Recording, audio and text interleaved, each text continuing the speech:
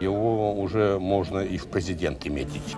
Что касается Бориса Немцова, я не считаю, э, что он имеет хоть малейший шанс стать э, президентом э, России. Ты знаешь? А ты слышал? Значит так, украсть ничего не получится. Платите мне 500 миллионов долларов, можете забирать этот завод. К чертовой матери. Этот строй неэффективный, он уже отошел. На нас э, толпа ОМОНа. Я просто остолбенела. Я кричу «Боря!». Все, кто здесь собрался на этой стороне, за вас голосовать не будут. Кто вас уговорил? Президент.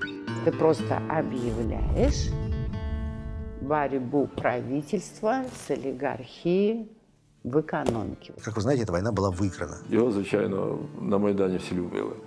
Всі любили.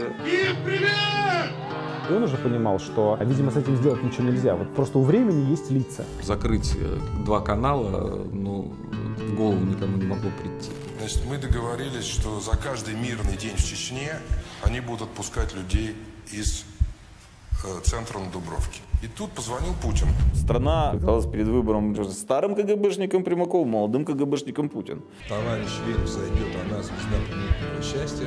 Россия вспрянет от сна, несмотря на то, что думаешь иначе. И на обломках самовласти напишут наши имена. Когда я узнала, что э, Бори не стало, когда он убит, это, конечно, был шок э, для всех.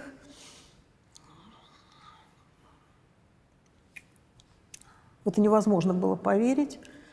А вот, это какая-то такая реальность, которую невозможно принять. Слишком яркий, свободный человек, Немцов, чтобы считать, что он навсегда ушел.